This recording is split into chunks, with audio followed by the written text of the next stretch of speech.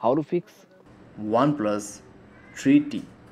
can't connect to Bluetooth headset problem.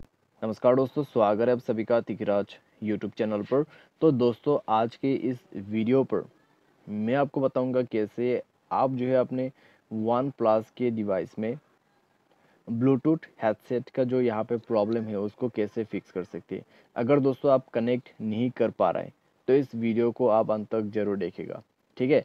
यहाँ पे दोस्तों प्रॉब्लम क्या हो रहा है? आप ब्लूटूथ को कनेक्ट करना चाहते हैं, अपने ब्लूटूथ हेडसेट के साथ में, लेकिन कनेक्ट नहीं हो पा रहा है। तो ये किस तरीके का प्रॉब्लम है और कैसे आपका प्रॉब्लम सॉल्व होगा, ये मैं आपको इस वीडियो पे बताने जा रहा हूँ।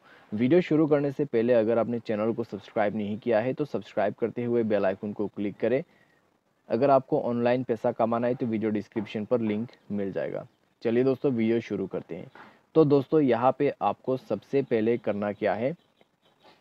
आपको, ठीक है, मोबाइल रिस्टार्ट करना है और उसके बाद जाना है setting and then scroll down करना है और कभी कभी दोस्तों ऐसा प्रॉब्लम हो जाते हैं, ठीक है?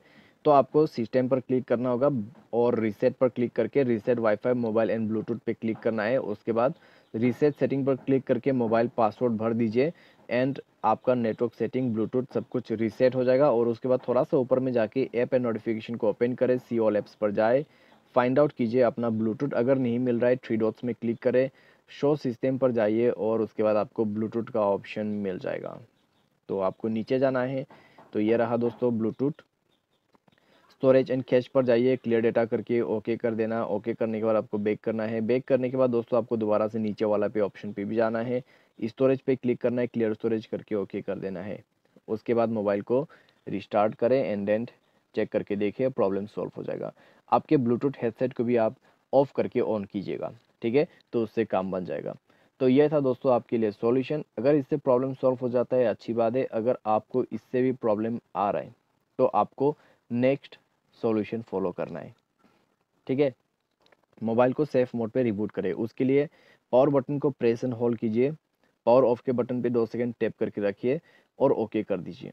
ओके करते ही आपके जो यहाँ पे प्रॉब्लम है, ठीक है सॉल्व हो जाएगा, जब आपके मोबाइल सेफ़ मोड पे रिबूट हो जाएगा।